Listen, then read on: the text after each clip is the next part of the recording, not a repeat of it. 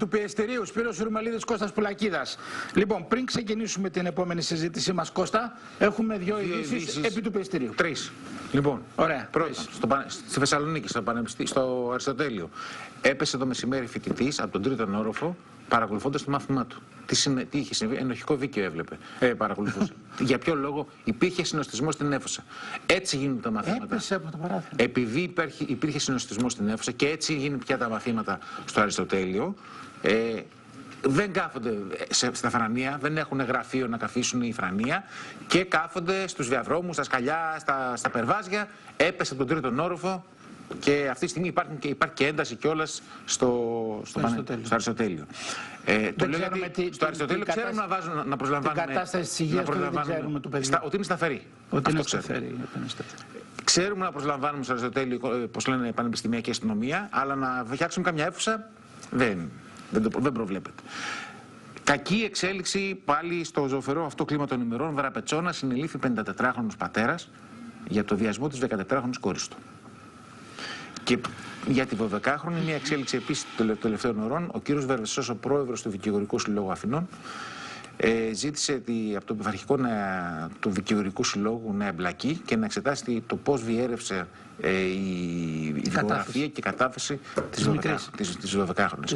Και έστειλε και, ανά, και ανάλογη επιστολή Το και έθεσε στον αυτό, εισαγγελέα. το έθεσε αυτό πρωτοδικών. και ο κύριος Λίτρας και είπε ότι εμείς οι δικηγόροι δεν την έχουμε ολόκληρη, δηλαδή απομαγνητοφωνημένη, καθαρογραμμένη κτλ.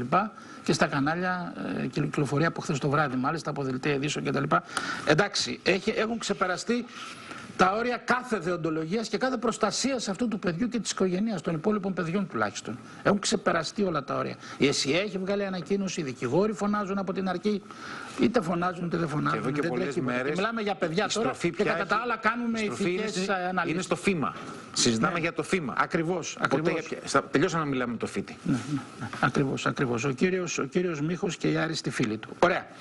Έχουμε μαζί μας, πάμε στο θέμα της ενέργειας τώρα, έχουμε μαζί μας τον Νικόλαο Φαραντούρη. Καλώς ήρθατε. Καλώς σας Στο βρίσκω. στούντιο. Για άλλη Καλό μια απόγευμα. φορά, καλώς ήρθατε σε αυτό το Να είστε καλά. στούντιο. Και καλό, εντάξει, εγώ Καθηγητής πρέπει να τα πω όλα τώρα. Α, έχεις Θα πο- περιμένω. έχεις Έχω- πολύ ώρα να Έχω μιλήσεις. πολλά τώρα, έχω πολλά να πω. Καθηγητής της Ευρωπαϊκής Έδρας Ζαμονέ στο Ευρωπαϊκό Δίκαιο Ανταγωνισμού Ενέργειας και Μεταφορών. Διευθυντής του Μεταπτυχιακού Προγράμματος Στρατηγική Δίκαιο Οικονομικά της Ενέργειας του Πανεπιστημίου Πυραιός. Τα είπα. Να είστε καλά. Εντάξει, Σας ωραία. ευχαριστώ. Και, Και λιγότερα, από να ό,τι λέ- τώρα- και λιγότερα να λέγατε ακόμη καλύτερα. Και τώρα μαθαίνουμε ότι κάτι και υποψήφιο στην Κεφαλονιά εκεί. από Και τον συγγραφέα, τόπο- συγγραφέας, δεν το λες. Συγγραφέας. Θα να δείξουμε και το βιβλίο που, για το οποίο είχαμε και σύνδεση που έγινε η παρουσία του χθες με κεντρικό μιλητή τον Αλέξη τον Τζίπρα. Η ενεργειακή κρίση στην Ελλάδα. Μάλιστα εκδόσει Παπαζήση. Ε, η δίνη της ακρίβειας, οι προειδοποιήσεις, οι προτάσεις για έξοδα κτλ. Ε, Φεύγουμε για κεφαλονιά αύριο το πρωί. φεύγουμε για Κεφαλονιά. Του Αγίου. Όταν στη κεφαλονιά με λέμε του Αγίου, έναν Άγιο εννοούμε. Γεια Στο Γεράσιμος. Άγιος Γεράσιμος, Άγιος τέλος. Γεράσιμος. Άγιος Γεράσιμος. Έχουμε τον Άγιο Γεράσιμο. Ωραία. Αλλά λέω μαθαίνουμε κι άλλα τώρα. Θα ότι σας όσο φάνε τα πιο- χωριά εκεί πέρα. Θα σας φάνε οι ανηφόροι Όσο, και κάτι όσο έρχονται οι εκλογές, μαθαίνουμε κι άλλα. Καταρχά τώρα εκεί έχουμε πέρα. τα μπέλια μας εκεί. Ξεκινάμε από τα βασικά. Δεύτερον είναι η πατρίδα μας. Ωραία. Τρίτον είναι ένας ωραίος τόπος να ζει κανείς. Ωραία. Τα Πάμε υπόλοιπα τώρα- όταν θα έρθει η ώρα. Όταν θα έρθει η ώρα. Λοιπόν, έχουμε μια άτολμη μάλλον, έτσι χαρακτηρίζεται και δημοσιογραφικά από πάρα πολλούς και κατώτερη των περιστάσεων πρόταση της Κομισιόν εν ώψη του Συμβουλίου της, της Συνόδου Κορυφής μάλλον ε, σε ό,τι αφορά την ενεργειακή κρίση και την αντιμετώπιση της. Κώστα, δεν ξέρω αν θες να πεις κάτι. Ναι, Επειδή έχετε, έχετε σύνοδος κορυφής τις επόμενες μέρες, Πέμπτη και Παρασκευή, μαζεύτηκε η Κομισιόν, έκανε τις προτάσεις. Δεν υπάρχει θέμα πλαφών. Τελείωσε το πλαφόν, το πετάξαν έξω το που ήταν η πρόταση, η πρόταση Μητσοτάκη. Λέει το σχέδιο λοιπόν θα υπάρχει ένα δυναμικό ανώτατο όριο τιμών για το φυσικό αέριο. Ε, προτείνει να υπάρξει ένας μηχανισμός με ένα κόφτη στις ημερήσεις διακυμάνσεις των τιμών και να υπάρξουν κάποια μέτρα για τη μείωση της ζήτησης του φυσικού αερίου και να αγοράζουν όλοι μαζί, οι Ευρωπαίοι να αγοράζουν όλοι, να προμηθεύονται όλοι μαζί το, το, το LNG, έτσι ώστε να πετυχαίνουν καλύτερε, καλύτερες τιμές.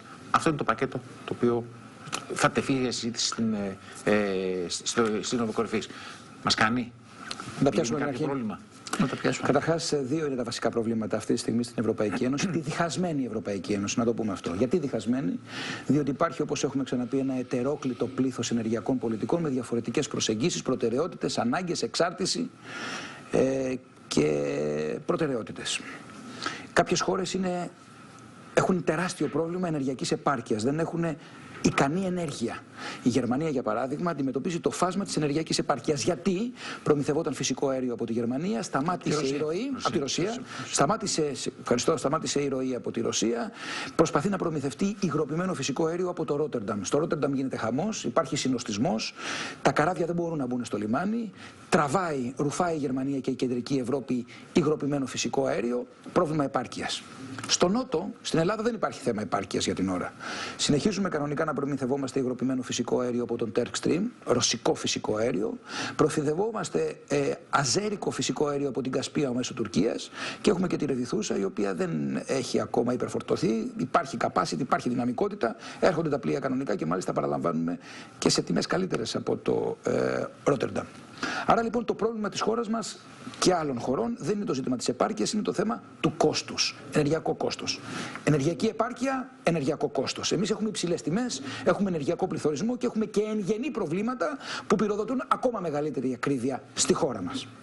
Μέχρι στιγμής η Ευρωπαϊκή Επιτροπή μιλάει για αλληλεγγύη και την εστιάζει κυρίως στα ζητήματα επάρκειας.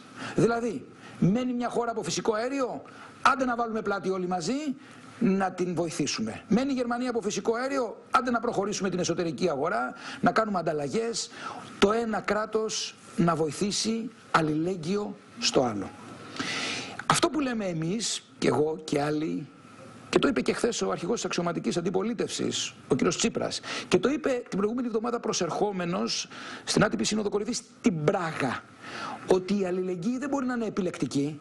Η αλληλεγγύη δεν μπορεί να εστιάζει μονάχα στα ζητήματα της επάρκειας, να βάλουμε πλάτη όλοι και στο ζήτημα του ενεργειακού κόστους. Και συνεπώς να ενεργοποιηθούν εργαλεία. Τι είδους εργαλεία, ενεργειακό ευρωομόλογο για παράδειγμα, όπως στην περίπτωση της πανδημίας. Και άλλα τέτοια έξυπνα δημοσιονομικά εργαλεία. Η Ευρωπαϊκή Επιτροπή, όπως πολύ χαρακτηριστικά το είπατε κύριε Πουλάκη, ήταν άτολμη. Αγουροξυπνημένη θα έλεγα εγώ, θα προσέθετα. Προσπαθεί να βρει το βηματισμό της. Δεν ξέρει ακόμα τι θα κάνει και μάλιστα δεν έχει και την αποφασιστική αρμοδιότητα γιατί τα κράτη-μέλη είναι αυτά που θα αποφασίσουν τελικά στη Σύνοδο Κορυφής, στη Σύνοδο Υπουργών. Τι προτείνει, προτείνει δύο βασικά πράγματα. Τέσσερα μέτρα προτείνει, ε, συγκεκριμένα λίγο, αλλά ε, ουσιαστικά δύο στόχους έχει. Πρώτον, την αλληλεγγύη στα ζητήματα επάρκειας, να το πάλι το ζήτημα της επάρκειας, αφού αφορά τις μεγάλες ε, και ενεργοβόρες βιομηχανίες των μεγάλων χωρών. Και στα ζητήματα του κόστους, αυτό που προτείνει είναι μια παρέμβαση σε αυτό που λέμε εδώ και ένα μισή χρόνο, στη λειτουργία της αγοράς. Η λειτουργία της αγοράς προσδιορίζεται σε μεγάλο βαθμό από τη χρηματιστηριακή τιμή του φυσικού αερίου. Το φυσικό αέριο ανεβαίνει. Ανεβαίνει και η τιμή του δεν αντανακλά αποκλειστικά κόστος, αλλά σπέκουλα, κερδοσκοπικά παιχνίδια, προεξόφληση κινδύνου, φούσκα. Σε μεγάλο βαθμό το χρηματιστηριακό παιχνίδι γίνεται στο χρηματιστήριο του Ρότερνταμ και σε άλλα χρηματιστήρια. Γιατί του Ρότερνταμ, διότι έχει καθιερωθεί τα τελευταία χρόνια ως ένας ρευστός ενεργειακός κόμβος, στον οποίο διαπραγματεύονται πάρα, πάρα πολλά συμβόλαια, πολλές συναλλαγές. Και επειδή έχει πολλές συναλλαγές, έχει γίνει σημείο αναφοράς στα μακροχρόνια συμβόλαια. Υπογράφεις μια σύμβαση με την Gazprom, υπογράφεις μια σύμβαση με έναν άλλο προμηθευτή, υπογράφουν δύο ε, αντισυμβαλόμενοι μια σύμβαση, βάζουν ως σημείο αναφοράς στην τιμή το, το Ρότερνταμ. Το Ρότερνταμ. Άρα λοιπόν έρχεται η Κομισιόν και λέει ότι το Ρότερνταμ, παιδιά, το TTF δεν είναι το Ρότερνταμ, το Άμστερνταμ. Ναι. Το Ρότερνταμ όμως είναι το λιμάνι που προμηθεύει το υγροποιημένο φυσικό αέριο. Ναι. Η Ολλανδία, το Ολλανδικός χρηματιστηριακός κόμβος, πλέον δεν δουλεύει καλά. Έχει στρεβλώσεις. Και λέγει ότι θα κάνω μία παρέμβαση προσπαθώντας να βάλω έναν πύχη ένα ταβάνι στο πόσο ψηλά θα υπάρχει αυτή η διακύμανση κάθε φορά. Αναφέρει επίσης κάτι το οποίο θέλει μεγάλη εξειδίκευση και είναι η κοινή προμήθεια ποσοτήτων φυσικού αερίου. Ναι, η κοινή αγορά που λέει. Η κοινή, κοινή αγορά. αγορά ναι. Ε, κοινή προμήθεια, Φιά, να ναι, προμηθεύεται η ευρωπαϊκή ναι, ναι. αγορά.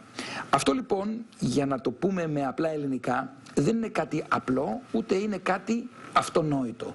Διότι όπως έχουμε ξαναπεί δεν προμηθεύεται η Ευρωπαϊκή Ένωση φυσικό αέριο σαν οντότητα στο διεθνές στίβο, στη διεθνή κοινότητα. Ούτε καν τα κράτη-μέλη. Δεν αγοράζει η Ελλάδα φυσικό αέριο. Αγοράζει... Αγοράζουν εταιρείες. Αγοράζει η ΔΕΠΑ, αγοράζει ο Μητυλινέος, αγοράζει ο Περίστα. Αγοράζουν εταιρείες φυσικό αέριο. Και υπό αυτή την έννοια δεν μπορείς να έρθεις από τη μία στιγμή στην άλλη να υποκαταστήσεις συμβόλαια είτε μακροχρόνια είτε βραχυχρόνια εταιριών Πώς θα τα σπάσεις; Υπάρχουν ποινικές ρήτρες. Υπάρχουν συμβόλαια που εκτείνονται σε μια 20 ετία μπροστά ή πάνε πίσω δεκαετίες. Αυτό λοιπόν που χρειάζεται είναι είτε να δημιουργηθεί μια πλατφόρμα. Διαβάζουμε ότι κυοφορείται μια πρόταση κανονισμού για υποχρεωτικές παραλαβές από τις ενεργειακές εταιρείες. Να αναγκαστούν οι εταιρείες να φτιάξουν ένα μπλοκ αγοραστών. Εκεί λοιπόν θα πρέπει η Κομισιόν να σταθμίσει και άλλα πράγματα όπως τους κανόνες ανταγωνισμού. Δηλαδή υποτίθεται ότι μια εταιρεία ανταγωνίζεται την άλλη και δεν μπορούν να συμφωνούν τις τιμές. Είτε τις τιμές πώλησης είτε τις τιμές προμήθειας. Διότι έτσι νοθεύεται ο ελεύθερος ανταγωνισμός στην αγορά. Και ο ελεύθερος ανταγωνισμός στην ευρωπαϊκή αγορά είναι θεμελιώδης, είναι, είναι ακρογωνιαίος λήθος της εσωτερικής αγοράς. Όχι μόνο ενέργειας, της εσωτερικής αγοράς της Ευρωπαϊκής Ένωσης. Είναι από αυτά που κάνουμε στο πρώτο έτος στο Τμήμα Διεθνών και Ευρωπαϊκών Σπουδών του Πανεπιστημίου Πυραιός. Άρα λοιπόν, αυτό που πρέπει να ξεπεράσουμε, πρέπει να ξεπεράσει η ευρωπαϊκή πραγματικότητα και οι ευρωπαϊκοί θεσμοί, είναι ζητήματα δικαίου του ανταγωνισμού αφενός και τεχνικά, ρυθμιστικά, θεσμικά, εμπορικά, νομικά θέματα, πώς θα σπάσει συμβόλαια και θα κάνεις τις εταιρείες υποχρεωτικά να συντονίζονται σε κοινή προμήθεια. Θέλει χρόνο. Έχουμε χρόνο μπροστά μας. Δεν γίνονται αυτά με το πάτημα ενός μπουτών. Σε καμία περίπτωση. Άρα, αποκωδικοποιώντας τις άτολμες, όπως είπε ο κύριος Πουλακίδας, προτάσεις της Ευρωπαϊκής Επιτροπής. Θα έλεγα, για ακόμη μία φορά, εστιάζουν στο ζήτημα της αλληλεγγύης στα ζητήματα επάρκειας, λέγε με Γερμανία. Τα ζητήματα του ενεργειακού κόστους τα βλέπουν δυσθεώρητα, τα καταγράφουν, αλλά δεν υπάρχει λύση τώρα για να τα αντιμετωπίσουν και συνεπώς θα πάει μια πρόταση στο Συμβούλιο, θα την επεξεργαστεί το Συμβούλιο, θα ξαναγυρίσει στην Ευρωπαϊκή Επιτροπή. Έχουμε καιρό μπροστά μας για αυτά. Και μέχρι τότε τα κράτη-μέλη πρέπει να συνεχίσουν να θωρακίζονται όπως μπορεί το καθένα. Κάποια μέλη, κράτη-μέλη στην Ευρωπαϊκή Ένωση το έχουν καταφέρει σε ικανοποιητικό βαθμό. Κάποια άλλα κράτη-μέλη τσαλαβουτάνε ακόμα σε μια ετερόκλητη, αν θέλετε, ε, προ, προοπτική ε, με συγκεκριμένα μέτρα Μάλιστα. χωρίς σαφή στόχο. Να στη το, δική μας την περίπτωση, να το προσγειώσουμε στην Ελλάδα τώρα. Στη δική μας την περίπτωση θα έλεγα ότι έννοιες όπως το πλαφόν η διατίμηση, η κρατική παρέμβαση, η ρύθμιση, η εποπτεία πριν από ένα χρόνο ξορκίζονταν ως κρατικός παρεμβατισμός. Ξορκίζονταν ως κρατισμός. Έννοιες παροχημένες υποτίθεται. Οι αγορές τα λύνουν αυτά τα πράγματα. Ναι. Έλα που δεν τα λύνουν οι ναι, αγορές και έλα που η ίδια η Ευρωπαϊκή Επιτροπή πλέον μιλάει για πλαφόν και τρέχουμε και εμείς κύριε, κύριε, είμαστε και εμείς εδώ και εμείς πλαφόν θέλουμε.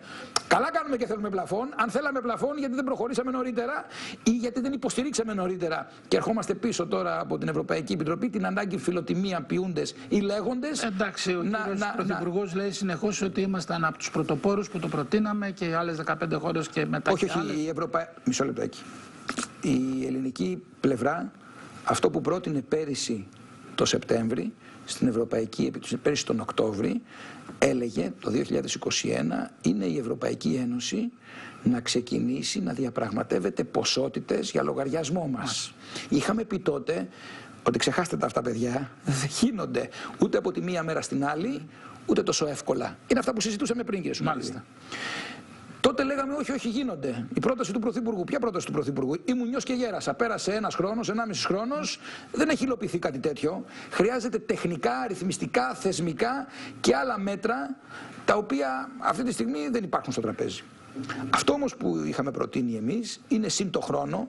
Καθόν χρόνων διεκδικούμε δηλαδή στην Ευρωπαϊκή Επιτροπή μέτρα, στην Ευρωπαϊκή Ένωση, στις Βρυξέλλες δράση Ας πάρουμε κι εμείς κάποια μέτρα στο εσωτερικό και δεν είναι άλλα από ένα πλέγμα ρυθμιστικών, δημοσιονομικών και ελεκτικών εποπτικών παρεμβάσεων. Ε, δεν έχει φορολογηθεί για παράδειγμα ούτε ένα σέντ μέχρι στιγμής. Έχουν με την πανοκρουσία ανακοινωθεί φορολόγηση υπερκερδών εταιριών. Δεν έχει ακόμα γίνει. Έχω την αίσθηση ότι υπάρχει μια διάχυτη πεποίθηση στην κοινή γνώμη ότι, όχι, όχι, ότι έχουν φορολογηθεί τα υπερκέρδη των ενεργειακών εταιριών. Δεν έχει φορολογηθεί κάτι. Τι να κάνουμε τώρα; Ναι, ναι, ναι. Όχι, δε- δεν νομίζω ότι υπάρχει αυτό στην κοινή γνώμη. Δεν ξέρω. Επίσης, επειδή οι καλλιεργείται παρεμβάσει από κάπου. παρεμβάσεις που έγιναν στη Λιανική, τώρα τόση ώρα μιλάμε για το επίπεδο της χονδρικής. Ναι, ναι. Και για να ξεκαθαρίσουμε τι σημαίνει χονδρική, είναι το επίπεδο στο οποίο διαμορφώνονται οι τιμές ε, στα χρηματιστήρια ενέργειας ε, Και από αυτές του που τελικά αγοράζουν οι ηλεκτροπαραγωγούς. ελληνικές εταιρείες, όποιες Αυτές και που είναι αυτές. μετακυλίονται προς τα κάτω στη Λιανική. Οι λιανέμποροι είναι οι πάροχοι. Ναι. Είναι αυτός που στέλνει το λογαριασμό. Κάποιοι από τους λιανέμπορους είναι και χονδρέμποροι. Ναι. Δηλαδή παράγουν ενέργεια και την μεταπολούν και την πολλούν σε εσάς, στον κύριο Πουλακίδα και σε μένα. Αυτή είναι η λιανέμποροι. Υπάρχει τεράστιο πρόβλημα και στη Λιανική, όχι μόνο στη Χονδρική και στη Λιανική. Στη Λιανική προσπάθησε η κυβέρνηση, εντός εισαγωγικών προσπάθησε, να αντιμετωπίσει το πρόβλημα με την περίφημη κατάργηση της ρήτρας αναπροσαρμογής. Ποια κατάργηση; Τα είχαμε πει εδώ από αυτό το τραπέζι. Καμία κατάργηση. Μετάθεση και αποσιώπηση. Διότι ήρθε η ΡΑΕ πριν από τέσσερις μέρες με επιστολή της προς την κυβέρνηση και επισήμανε το παγκόσμιο παράδοξο. Καταργηθήσεις της ρήτρας αναπροσαρμογής, είχαμε αναπροσαρμογή πάνω από 60% σε σχέση με τη ρήτρα αναπροσαρμογής, εάν δεν είχε καταργηθεί. Αστεία πράγματα, έτσι. Εν πάση περιπτώσει, βρισκόμαστε σε ένα μετέχμιο. Μακάρι να υπάρξουν ε, αποφάσεις και βήματα γοργά στην Ευρωπαϊκή Α, α, Ένωση. το πρόβλημά μας επομένως και αυτό που ενδιαφέρει βέβαια και τον κόσμο είναι το κόστος. Αλλά γενικά το πρόβλημα μας και για την οικονομία, για την βιομηχανία μας, την αγροτική παραγωγή, είναι το κόστος. Το κόστος το οποίο σήμερα να το αντιμετωπίζεται τονίσουμε, με, να το με ξεκαθαρίσουμε. επιδοτήσεις. αυτό. Ναι. Η ελληνική κυβέρνηση έχει δαπανίσει τεράστια πορά- ποσά για επιδοτήσεις. Αυτό δεν ξέρω αν πρέπει να τη το πιστώσουμε ή να τη το χρεώσουμε. Θα μπορούσε να πει κανείς να τη το πιστώσουμε, δεδομένου ότι, εν πάση περιπτώσει, οποιαδήποτε ανακούφιση είναι καλοδεχούμενη. Πάντως εμάς αυτό- Εγώ αυτό δεν μας θα έλεγα να χρεώνει. τη το πιστώσουμε, Στην εγώ θα τελική έλεγα να αυτό τη το μας χρεώνει χρεώσουμε. εμάς. Διότι από τη μία τη επιμπαίνουν και στην άλλη τη επιβγαίνουν. Τα δημοσιονομικά μας είναι φορολογούμενοι τα πεπερασμένα. δίνουν αυτά, και- Και επειδή το φαινόμενο δεν είναι παροδικό ούτε προσωρινό και επειδή δεν μπορεί επιμακρό να συνεχίζεται αυτή η επιδοματική πολιτική, νομίζω ότι ήρθε ο καιρός πλέον για πιο ρηξικέλευθε παρεμβάσεις στη λειτουργία της αγοράς. Είναι αυτό που ονομάζουμε ρυθμιστικές παρεμβάσεις και όχι Και αυτές απλά περιλαμβάνουν και για να το τελειώσουμε εδώ προς, ε, σήμερα, για σήμερα, κύριε Φαραντούρη, αυτές οι ρυθμιστικές παρεμβάσεις περιλαμβάνουν και τη μείωση κάποιων συντελεστών φορολογίας; Εγώ θα έλεγα ότι είναι εκ των ον ουκ άνευ η μείωση των ε, έμεσων φόρων. Καταρχάς δεν το λέω εγώ. Το λέει η διεθνής πρακτική. Πριν από δύο μέρες το Διεθνές Νομισματικό Ταμείο δημοσίευσε έναν πίνακα που φαίνεται ότι σχεδόν όλες, αν όχι όλες, οι ανεπτυγμένες και οι αναπτυσσόμενες χώρες του κόσμου το πρώτο πράγμα που κάνανε για την ανάσχεψη αυτού του τσουνάμι ακρίβειας ήταν η μείωση των έμεσων φόρων.